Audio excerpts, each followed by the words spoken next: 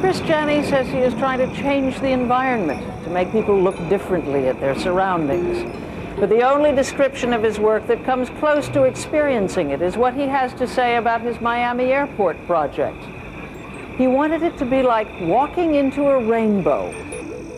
If you try to imagine that, it must be a pretty interesting thing.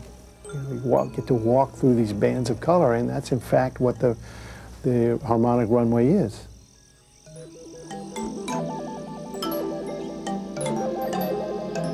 It stretches the length of a moving sidewalk in the new international concourse of the Miami airport.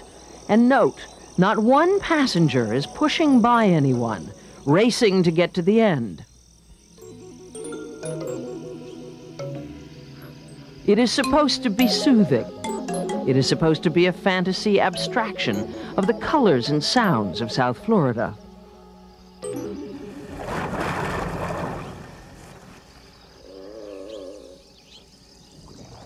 For Harmonic Runway, Janney literally bathed himself in color, diving off the South Florida coast. You're totally immersed in the color in Miami. And then also, you know, there's just the color of fish and the patterns that nature makes are just astounding.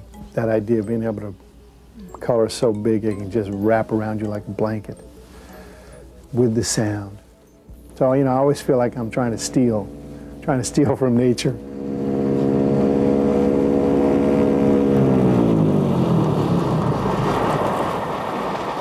The sounds of the Florida Everglades he gathered like flowers for his bouquet of sensations.